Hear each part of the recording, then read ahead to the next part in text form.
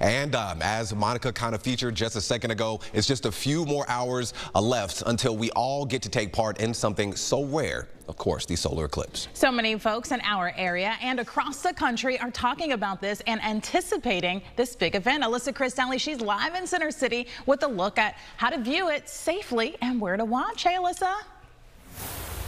Hey guys, this is so exciting, right? We're just hours away from witnessing something that we may not see again for a very long time or maybe even in our lifetime. And so many folks across the Philadelphia area, we're all obsessed with this, right? It's fascinating to us and a lot of us hoping to catch a glimpse of it this afternoon. But millions of Americans across the country have been gearing up for this eclipse all year long.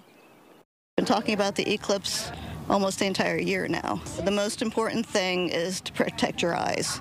You don't look directly at the sun on a normal day, and you definitely don't look at the sun during an eclipse. We're not going to have an eclipse quite like this one for another maybe 350 years.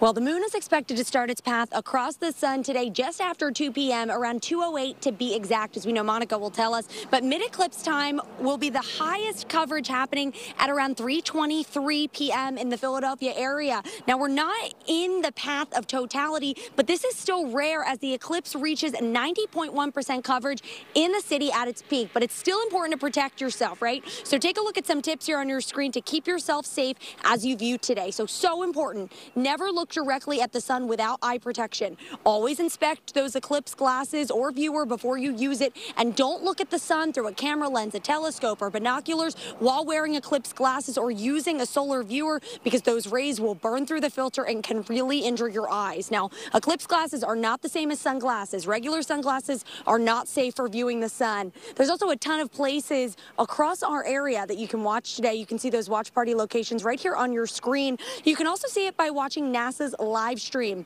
While father and daughter say they are excited to experience this moment in history together.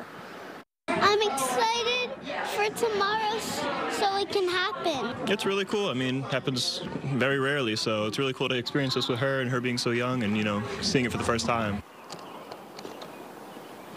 Well, guys, remember, we only have a certain window this afternoon to be able to view this, right? That short window in the afternoon. So we got to be ready. We got to gear up. I know we're going to be. I got my glasses here. I'm one-handing it. Um, I think these work, guys, because I can't really see anything through it. So I think we're ready for the eclipse. Alyssa, Not you seeing are, a thing. You are so ready. By 323, hopefully she can get the other ear on. Yeah. Okay, that's yeah. what that's what we're hoping for. We're you. We're gonna do it. Y'all make sure you're using both hands. Thanks, Alyssa. Yeah. And we have got.